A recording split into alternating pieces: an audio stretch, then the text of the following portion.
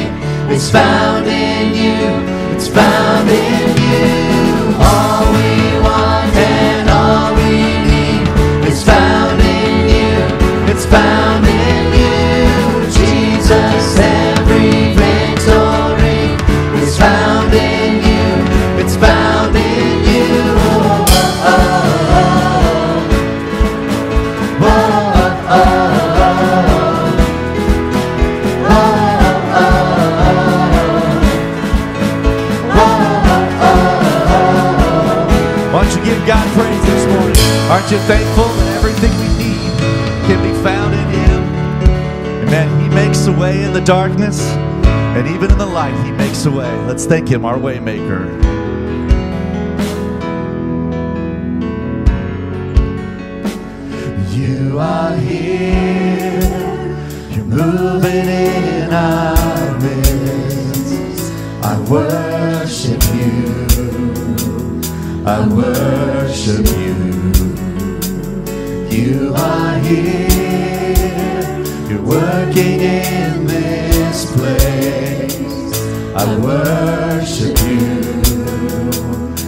Worship you.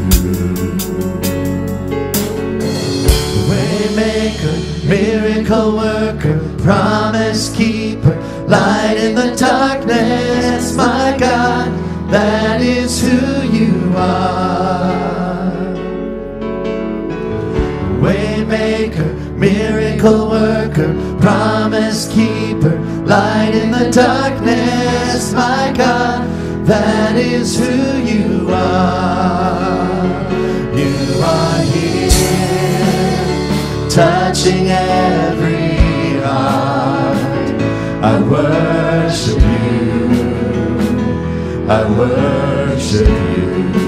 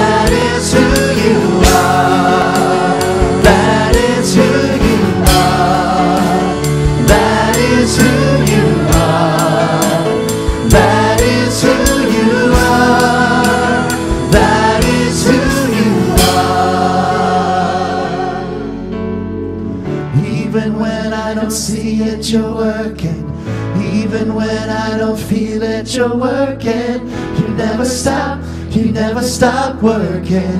You never stop, you never stop working. Even when I don't see it, you're working. Even when I don't feel it, you're working. You never stop, you never stop working. You never stop, you never stop working. Even when I don't see it, you're working. Even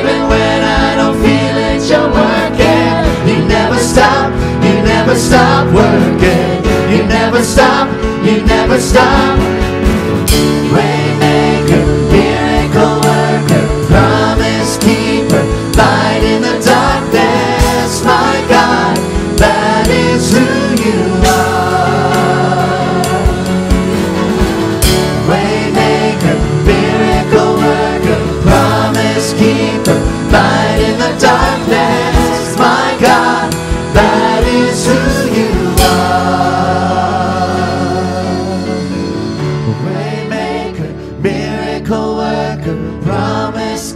keeper, light in the darkness, my God, that is who you are.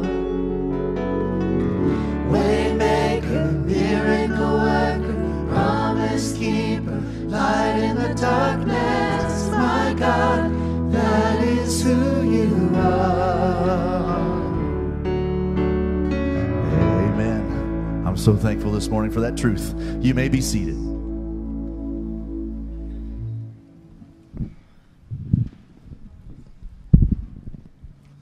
Good morning. Huh, well, that's a way to start your morning. Hey, we are so thankful that you're here with us, whether it's in person or whether you're joining us online. We believe wholeheartedly that the God of all creation, the Waymaker,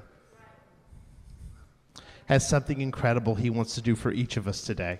So thank you for joining us. Hey, um, I've got a couple announcements for you really quick. Uh, the first of which is this uh, crisis care kits. We each year we put together these these kits uh, to ship out to disaster areas um, where other serious or where other serious things have happened. If you can help, you can grab a bag at the Welcome Center uh, and fill it with the uh, exact items that they ask for. If you're joining us online, you can call the office and get one of those kits and find out what we need and uh, participate as well.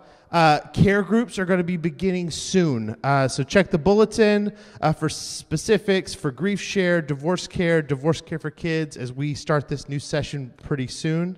Uh, some very exciting news. Youth group came back this past Wednesday. We had a great time together. So join us every Wednesday from 6:45 to 8. We have a lot of fun together. We'd love to see you. Uh, when you came in this morning, you received a bulletin. Uh, in that bulletin is a connection card. If you're joining us online, there is a link on the screen that you can see, hopefully. Uh, please fill that out with as much info as you're comfortable with. Uh, we'd love to get to know you if you're new. Uh, we'd love to pray with you. We'd love to know any needs you have. So please uh, do that. We would love for that. And hey, uh, we keep saying this because we really mean it. Thank you so much for your continued generosity in this year. This year's been incredibly difficult for so many, but God's people have been so faithful. Uh, we're not going to pass offering plates for a while.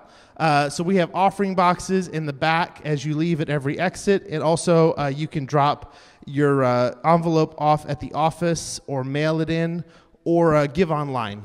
So that's all I have for you today. I am so excited to continue to worship together. So let's pray, and then we're going to keep worshiping the Lord this morning. Lord, thank you for this day. Thank you for the opportunity to worship you. Whatever the space, whatever the context, whatever we are personally, may we just let all of that fade away this morning and focus solely on you. Lord, thank you so much for God's generous people. Thank you so much for your generous people this morning who have continued to give sacrificially. We pray that those gifts would be used to your will in this community and around the world. We love you so very much. In your name, amen.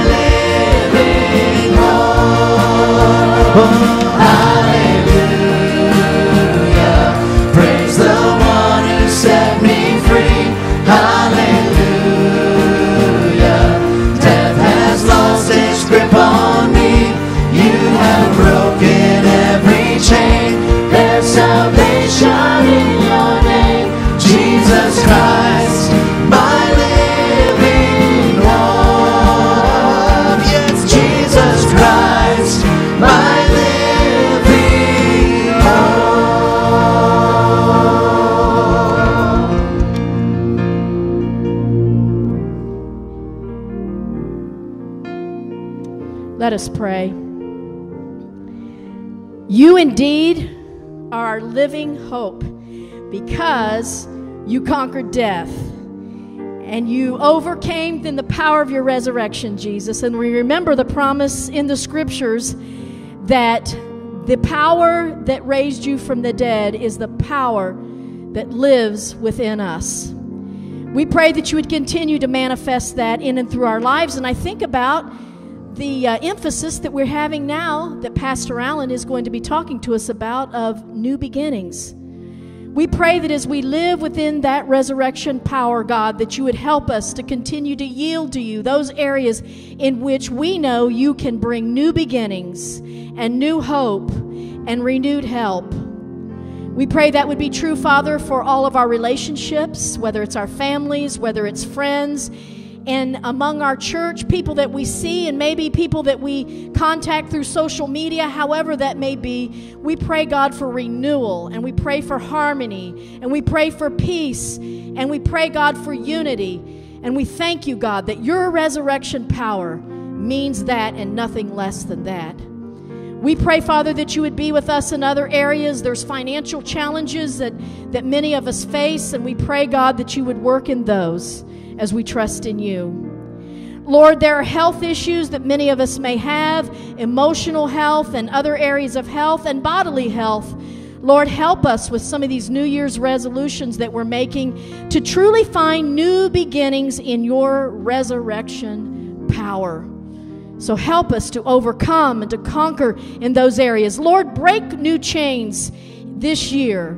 We pray, Father, that you would give us that resolve and the power of your Holy Spirit to live consistently, to follow you in holiness and in reverent fear. We love you so much today, God, and we're glad that we can know that power in a relationship with you. We pray that you be with those who are sick. We pray that you would be with those that are struggling with various other kinds of physical illness, illnesses. We pray, Father, that you would give strength and power and healing. So continue to bless us throughout this day and throughout this week. Lord, I bless us all here present and virtually in the name of the Father, Son, and Holy Spirit of God. And all God's people said, Amen. Thank you. you may be seated.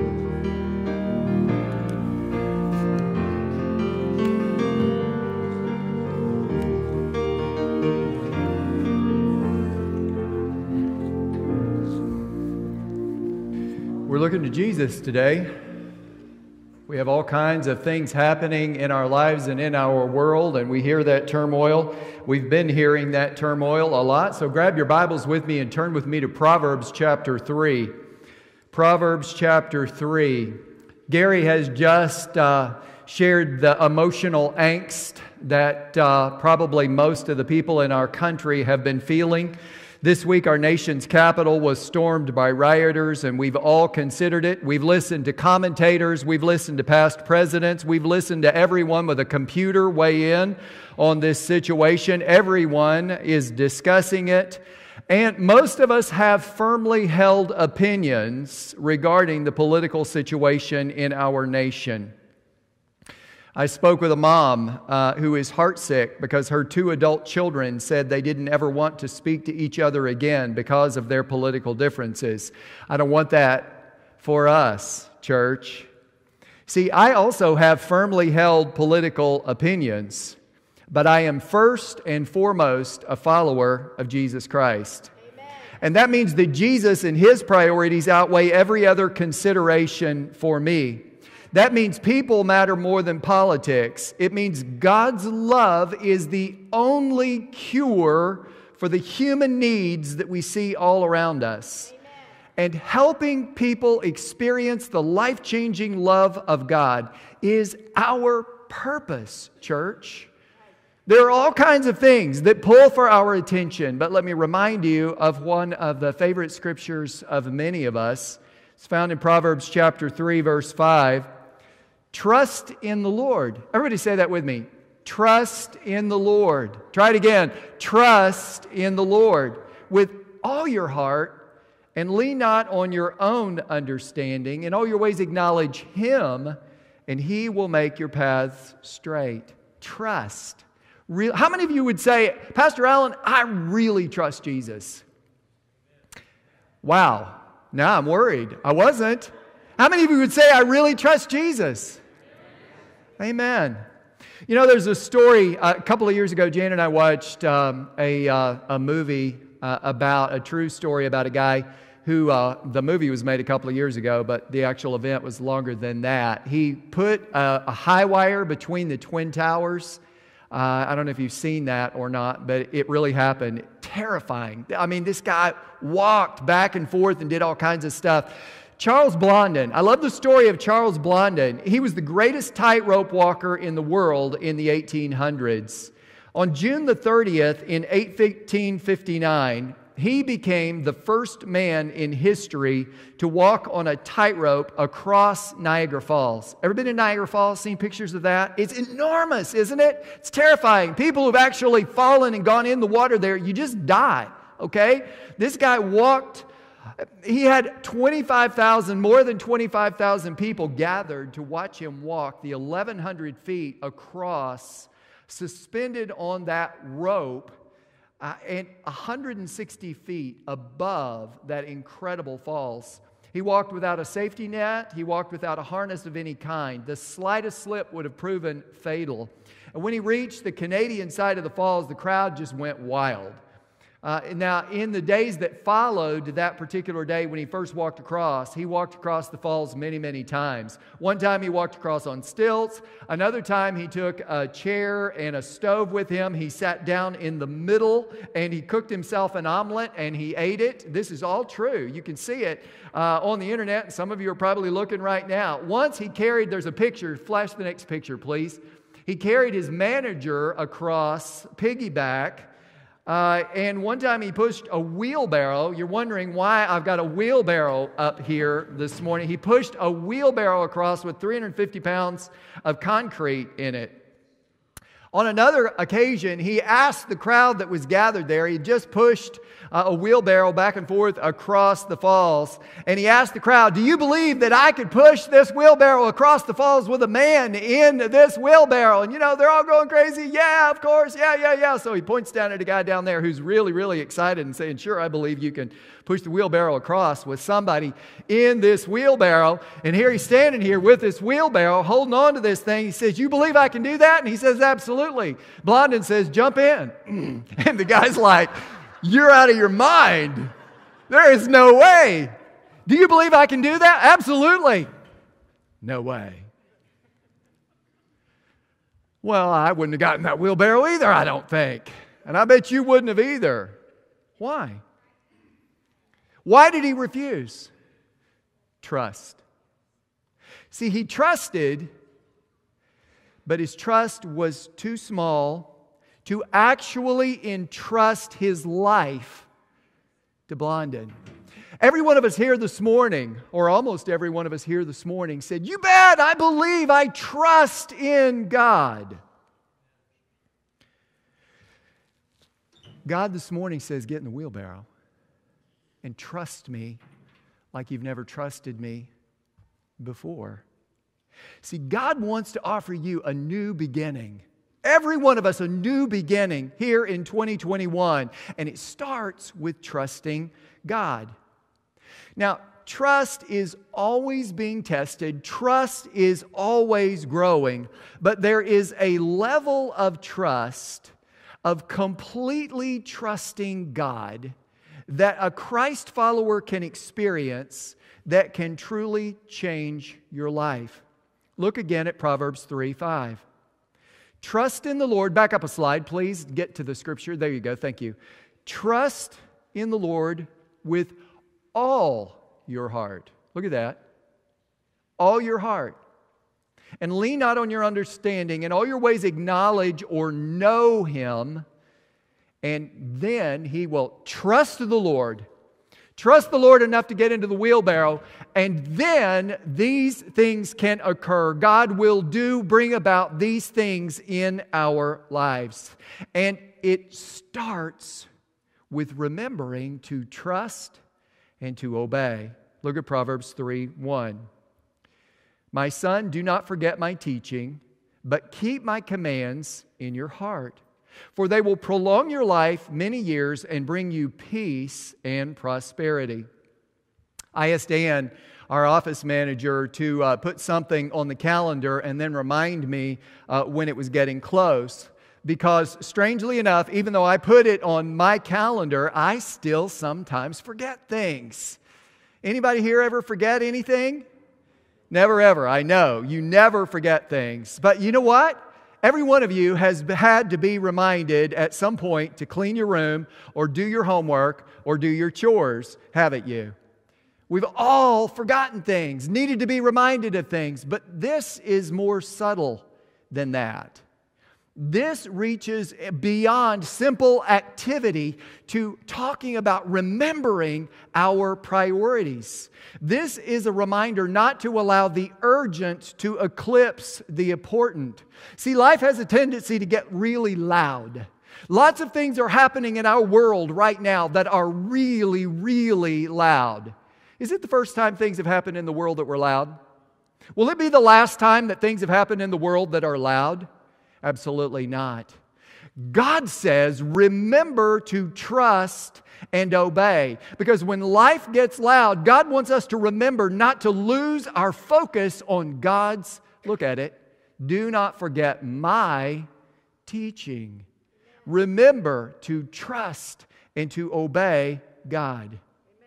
It's interesting to me, but every new beginning that God brings about in our lives includes a review of these fundamental, basic truths. That's what New Year's resolutions are all about, isn't it? I mean, we review, we go over our past, our personal priorities. We look at what it is that's really important to us, and then we look at how our activities, our behaviors, our attitudes have aligned with our personal priorities in the past. And then we set some new goals, some New Year's resolutions to try to help us to realign our lives, our behaviors, our attitudes, our actions with those priorities in those places where we see that they have gotten out of alignment. Solomon starts to talk here in Proverbs chapter 3 about our relationship with God, and he immediately comes back and refocuses on the basics trust and obedience. See, when I believe in Jesus, I will follow Jesus. When I trust Jesus, I'll get in the wheelbarrow. I will say, okay, God, I trust you. When I really trust Him, it affects all of my activities.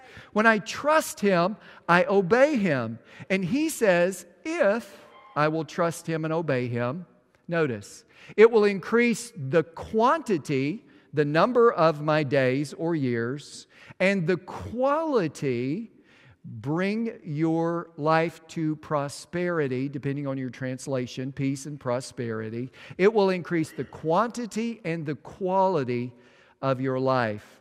Now, prosperity here doesn't simply mean financial prosperity. It's talking about deepening and enriching every dimension of the personhood that you experience, what makes life valuable and meaningful for each one of us. God wants to bless, He wants to prosper every dimension, every area of your life. He wants to help you to make a new beginning, and it starts with trust in the Lord.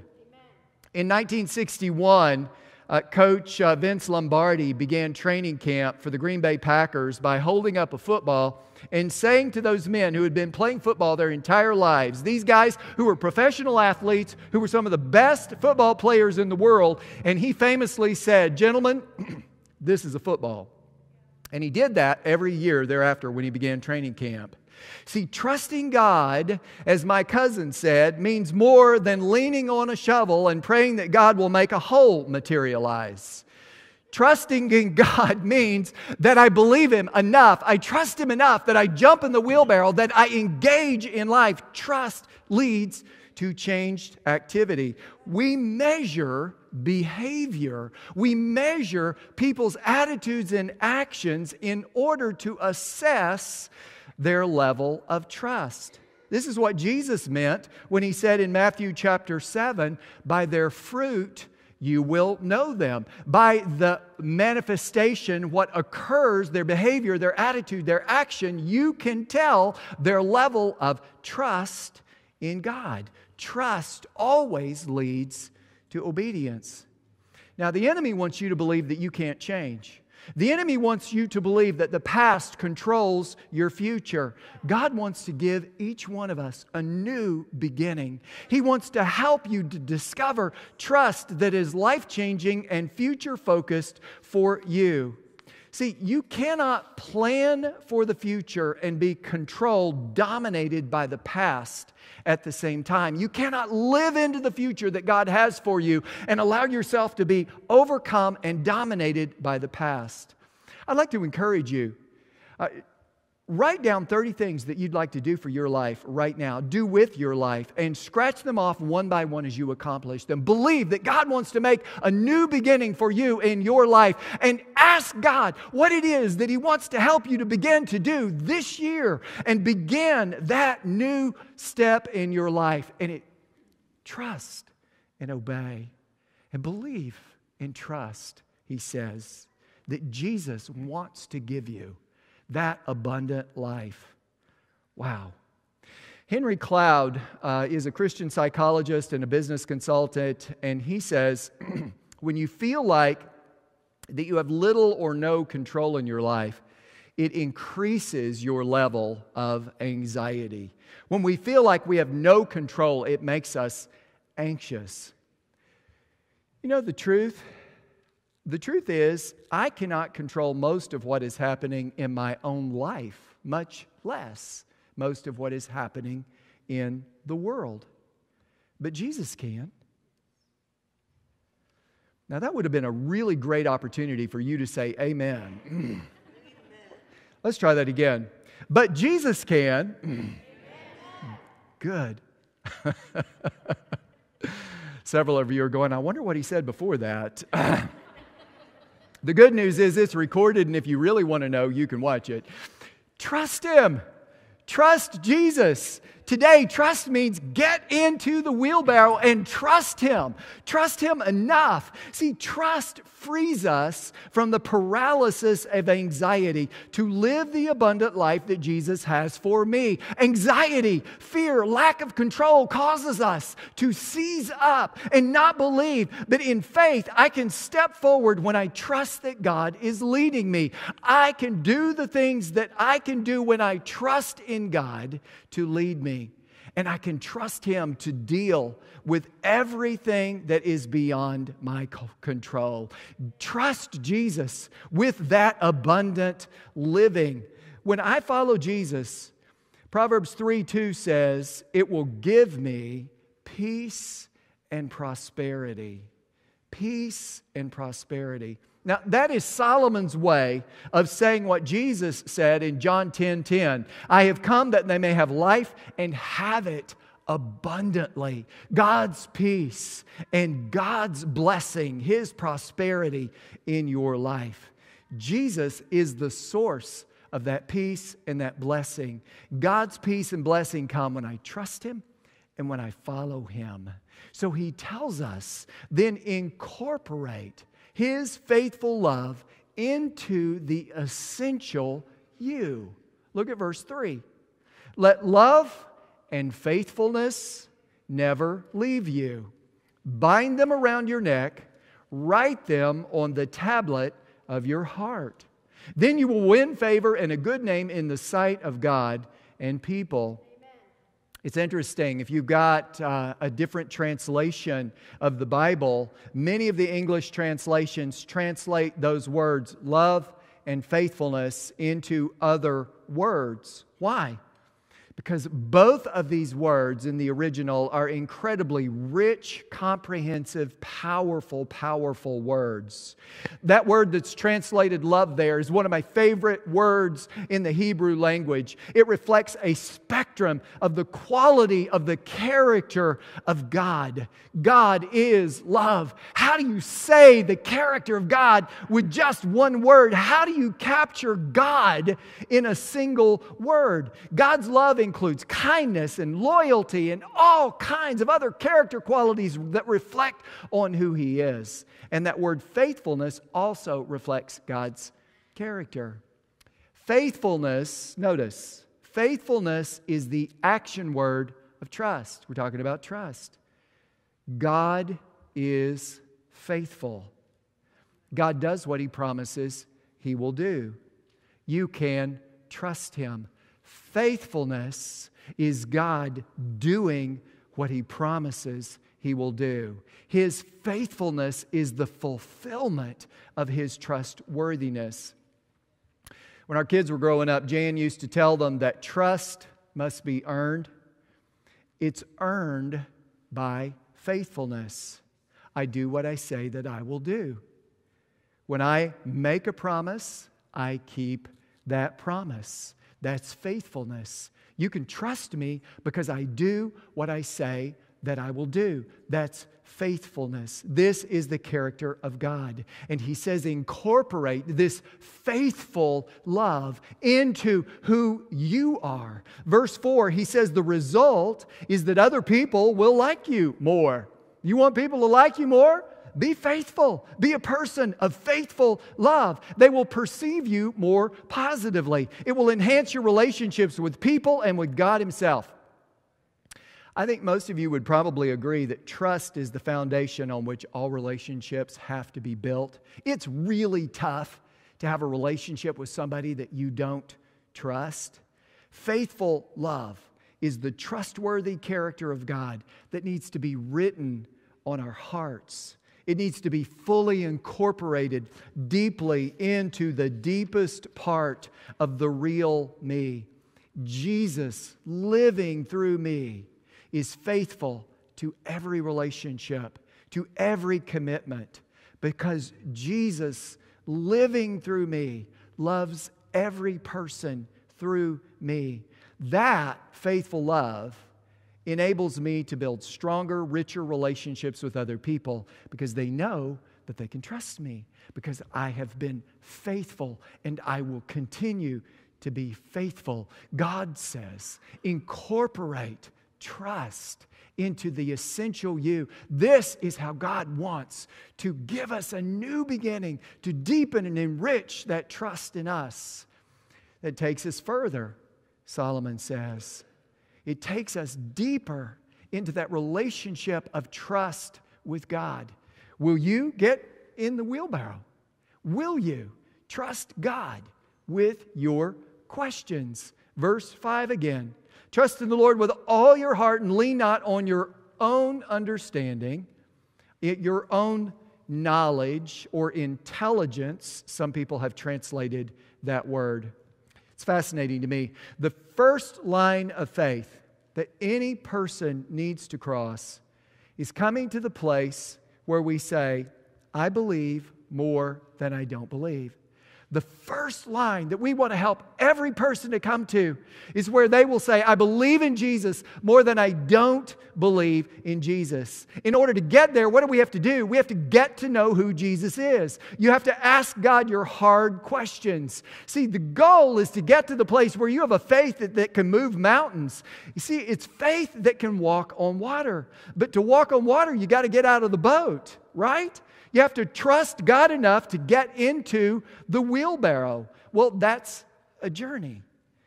Don't rely simply on the knowledge that you've gained in the past. Don't rely just on your experience with God from the past, the experience that you've heard that other people have had from the past. Get to know God more. See, acknowledge means a real relationship. In all your ways, acknowledge. And in, in uh, brackets, you'll see that I've put the word know because that's what it's really about. It's about knowing, it's a relational word. Get to know God, get to know Him more. When Jan and I uh, first started dating, we'd been on three dates, and I told her, I think I'm falling in love with you. And she looked at me kind of strangely and she said, um, You know, I don't think you really can love me yet because you don't really know me yet. Well, I wasn't really excited about hearing that. But I showed her I married her. She's been punished enough. but you know what? I think she was right. See, any relationship requires that we get to know the other person. Don't accept a superficial relationship with Jesus. Get to know him. That's why I want to encourage you again. Join me this year in reading the Bible through. The bulletin and the website have a reading plan. See, I know something that I know you know. Most people in America can name more Disney movies than they can books of the Bible. Most Christians in America can name more Disney movies than they can books of the Bible. Read the Bible. Get back into Sunday school. I know Zoom's not as fun as real, real life. Wham! Get over it. Get in there. Get into digging into the Word of God with other spiritually hungry Christians. We need to get to know Jesus. He wants to make a new beginning in your life. And it starts by diving in to trusting God. Trust Him with your questions, trust Him in the tough times. We all go through tough times. If you're not in one right now, you're going to be. Good news news. Oh. But you know it's true. See, those are the times, those difficult times personally and nationally and in every way, those are the times when big questions loom over us. Do I really believe what I say I believe? Why is God not answering my prayers the way that I want for Him to? The wonderful thing is, every time I experience something challenging or painful in my life, it makes me ask at a new level Do I really believe? And it gives me this incredible opportunity every time you go through a tough time, every time any one of us faces a difficulty, we have the opportunity to connect with Jesus at a deeper level, to ask our questions, to engage in the real life questions with God, and to go deeper in our relationship relationship with Jesus. Jesus wants to make a new beginning for you. But if you're going to do that, you can't stay in the shallow end of the pool. Trusting God means going deeper with Jesus. God wants to walk the path with you and build a relationship with you that will keep your path straight. Look at the verse. Keep your path straight. Keep your life straight. But see, straight paths don't mean easy paths. Straight paths mean paths that are walked hand in hand with Jesus. See, God's not about the business of just giving us what we can handle. God is about the business of helping us to handle what we are given in life. And that takes growing in our trust in Jesus. Trust Him with your questions, trust Him in the, the tough times. But you know, I think maybe it's harder sometimes to trust God when life is going really well than it is when life is going really hard. So trust Him with the good things. Look at verse 7. Do not be wise in your own eyes. Fear the Lord and shun evil. This will bring health to your body and nourishment to your bones. Verse 7 says, Don't be wise in your own eyes. See, when things are going well, we often have this tendency to either trust ourselves or to trust the things that God has blessed us with. You know, I, I, think most of us run to God as fast as we can when we have problems, but we tend to take God a little bit for granted when we're being blessed. There is a danger that we just think, hey, I'm doing pretty well here. I, I'm doing fine on my own. Why do I need to bother trusting God? We easily develop this type of self reliance that doesn't trust God for His care and His provision and His blessing and His guidance because we feel like we're doing just fine on our own. It's not that God wants you to be helplessly dependent. What God wants is for you to recognize that He is the source of every good thing that we have in our lives. He wants us to trust Him as our source. Verse 9. Now, at first glance, many of us may look at these verses and go, wait a minute, in the sequence of all of this, what are those doing there? Honor the Lord with your wealth, with the first fruits of your crops. Then your barns will be filled to overflowing, and your vats will brim over with new wine. But Solomon's reminding us that our natural tendency is to trust in the blessings that God has given us rather than trusting God Himself as our source. So we trust the job instead of realizing that God is the one who provided the job, or we trust our strength and our health instead of recognizing that God is the source of our health.